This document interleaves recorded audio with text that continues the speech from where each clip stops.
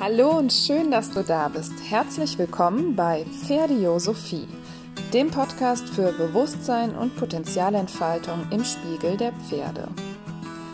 Mein Name ist Tina Schumacher und ich freue mich, dass du da bist und dass du dich inspirieren lässt zu der Frage, wie Pferde auf unser individuelles und systemisches Leben wirken.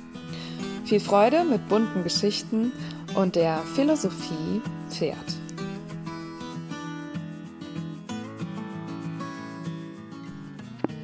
Hallo, schön, dass du wieder reinhörst zu einer neuen Folge Pferdiosophie. Ich freue mich, dass du dabei bist.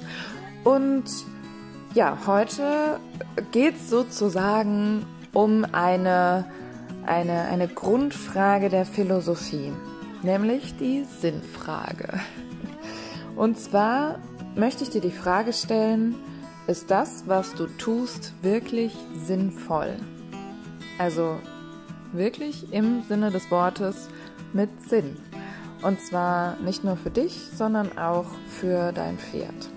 Und in Zusammenhang, Zusammenarbeit, im Zusammensein mit dein, deinem Pferd, im Zusammensein mit deinen Beziehungen, im Job, im Leben.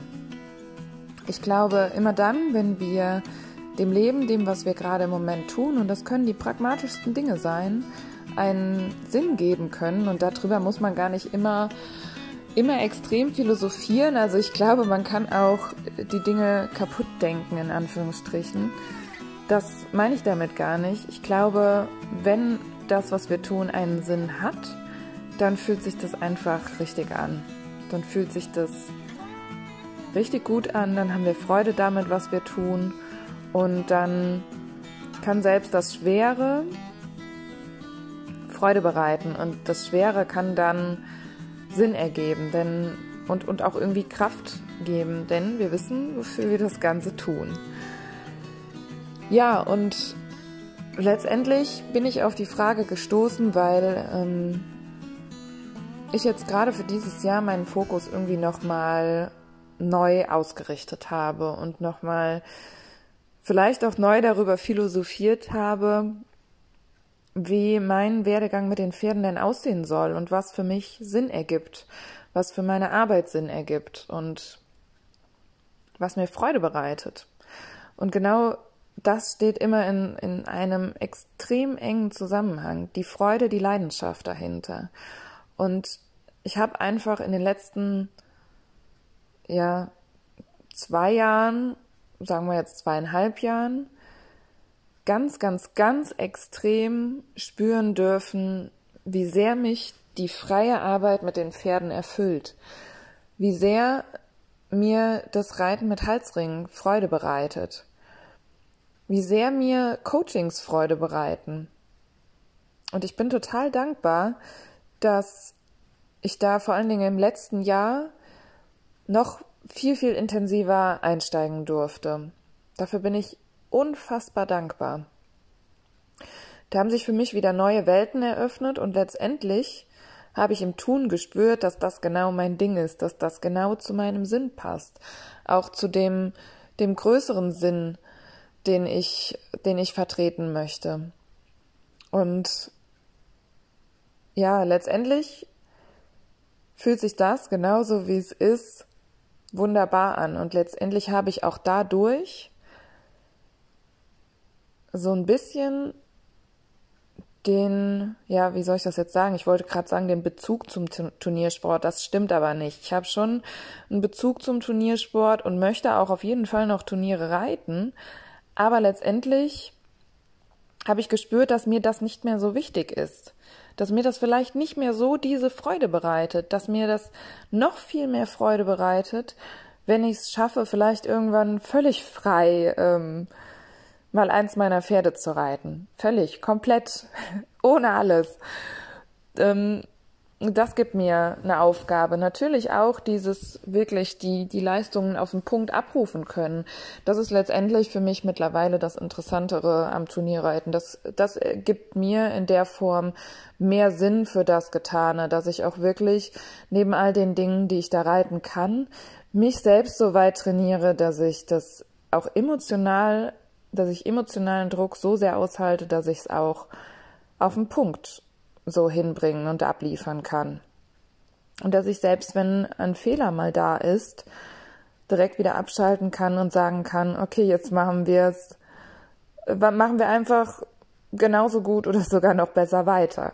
Und da halt keinen innerlichen Druck verspüre. Das ist meine, meine neue Definition von Sinn. Und das war eben früher ganz anders. Früher, und damit meine ich die Zeit, in der ich vielleicht auch einen Teil meines Lebens, würde ich fast sagen, aber jetzt mal auf den Reitsport projiziert, denn da hat sich das auch abgebildet, meine Reiterei auf gar keinen Fall in irgendeiner Form selbst in die Hand genommen habe. Ich habe immer danach geschaut, was sagt mir der Trainer, was ähm, was wird in dieser Welt verlangt, in dieser Welt, in der ich mich bewegt habe, in dieser ähm, Welt der Englischreiterei, in dieser Welt der Turnierreiter.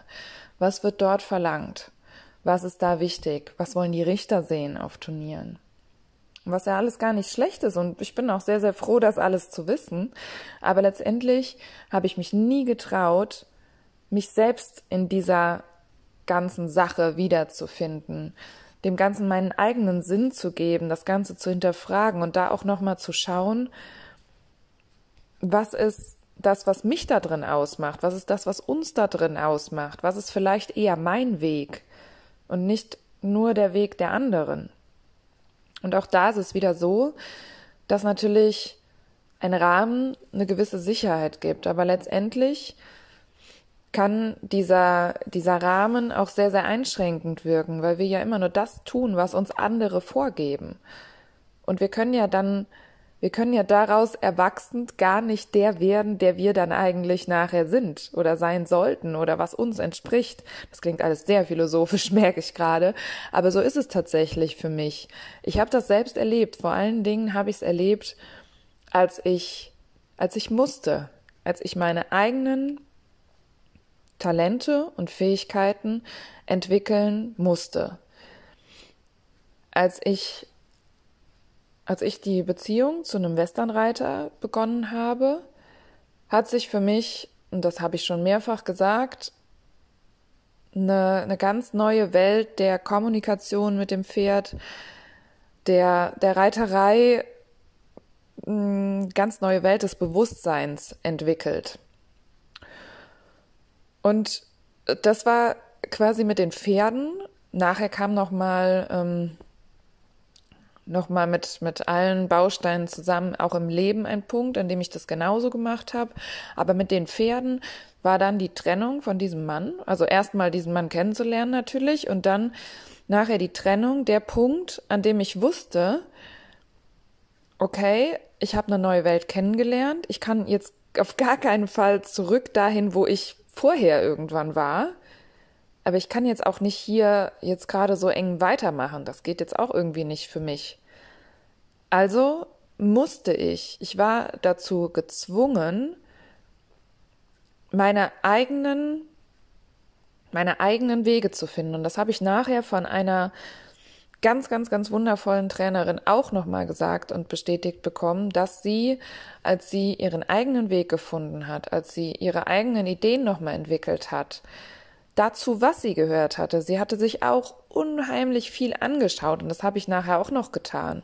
Unheimlich viel angeschaut, aber letztendlich hat sie ihren, ihren eigenen Weg, ihren eigenen Footprint sozusagen entwickelt und gefunden. Und das ist das, was uns dann in unserer Gänze ausmacht und was uns, was uns Sinn gibt und was auch für mich eine noch, noch viel größere Glaubwürdigkeit ausmacht, weil ich voll und ganz dahinter stehe, was ich tue und trotzdem aber auch offen noch für Weiterentwicklung und Lernen bin. Und ich glaube, das macht diese Sinnfrage aus und das macht es auch aus, diesen Sinn entwickeln zu müssen, in Anführungsstrichen. Mir hat das, mir hat das damals, auch wenn es erstmal extrem schmerzhaft war, unfassbar viel gebracht. Unfassbar viel gebracht. Und ähm, ja, also das war letztendlich, letztendlich, ich habe so viel letztendlich gesagt im, heute. Es tut mir leid. Wenn du das auch schon mitgezählt hast, dann ähm, ja, keine Ahnung, mach ein Trinkspiel draus oder auch nicht. ähm, naja, zusammengefasst habe ich am Anfang das gemacht, was, was andere für richtig gehalten haben und was andere mir, mir vorgeschrieben haben. Und da ich wahrscheinlich auch nicht so richtig wusste, ob ich jetzt dahinter stand oder nicht, heute ist das logisch für mich, konnte natürlich auch mein Pferd den Sinn jetzt nicht unbedingt immer sehen von dem, was es denn da tun sollte. Ich wusste ja selbst nicht ganz genau, was ich tat. Ich hoffe, du, du kommst mit und du verstehst, was ich damit meine. Das ist nicht so, dass ich jetzt gar keinen Plan davon hatte, was ich da gemacht habe, während ich da durch eine Estressur geritten bin. Das ist ja, das ist, das ist Quatsch, das ist Schwachsinn. Aber ich konnte nicht gezielt kommunizieren. Ich konnte meinem Pferd nicht ganz, ganz klar begreiflich machen, warum das jetzt gerade wichtig für mich ist. Und das hatte auch keinen tieferen Sinn. Der, der tiefere Sinn dahinter war einfach, ich wollte S reiten und ich wollte irgendwann eine S-Platzierung. Und ich, heute glaube ich auch, dass die genau deshalb nicht kam, wann ich sie gebraucht hätte. Naja. Ähm, und mit dieser Situation und natürlich auch noch durch andere Faktoren habe ich gelernt, wie wichtig das ist, eigene Sinnhaftigkeiten zu finden, also eigene Gründe oder auch Motoren, warum wir denn etwas tun jetzt gerade. Und wenn wir voll und ganz dazu Ja sagen und dahinter stehen, dann werden wir auch immer die Kraft haben, den Weg weiterzugehen. Ob jetzt im Leben, ob in der Familie, in einer äh, Entscheidung für eine Beziehung so, so denke ich zumindest. Oder sonst wo.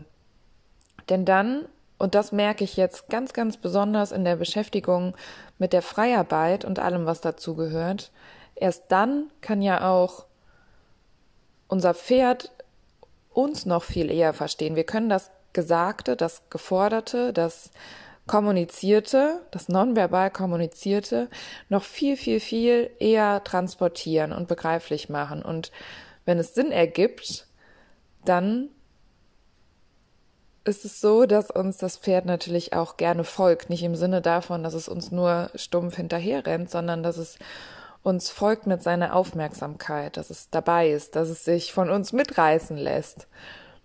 Und das ist eine der mit der schönsten Erkenntnisse und etwas, was mir in dieser ganzen Geschichte gerade oder in der ganzen, in meiner ganzen Geschichte der Reiterei und der Beschäftigung mit der Pferde, mit den Pferden, ähm, macht mich ganz emotional gerade.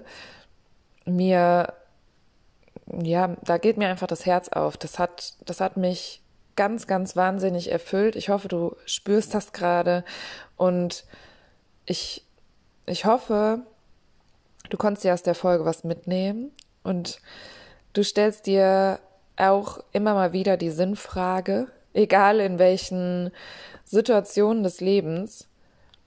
Und vielleicht stellst du dir auch mal die Frage, ob dein Pferd tatsächlich jetzt gerade deinen Sinn erkennt und ob du deinen Sinn vielleicht noch mal ein bisschen klarer definieren darfst denn das kann alles viel, viel leichter machen. Und glaub mir, sich die Frage zu stellen, lohnt sich und es macht äh, ganz, ganz große Freude, dann zu sehen, welche Früchte das tragen kann. Also, ähm, wenn du mir davon erzählen möchtest, freue ich mich ganz, ganz doll. Also du bist herzlich eingeladen, deine Erkenntnisse immer super gerne mit mir zu teilen, entweder hier unten in den Kommentaren oder auch auf jedem anderen Weg. Ich wünsche dir jetzt eine ganz, ganz wundervolle später neue Woche, nachdem das Wochenende vorbei ist. Ich bin heute ein bisschen durcheinander. Leute, Leute. Naja, ich wünsche dir eine schöne Zeit und wir hören uns beim nächsten Mal.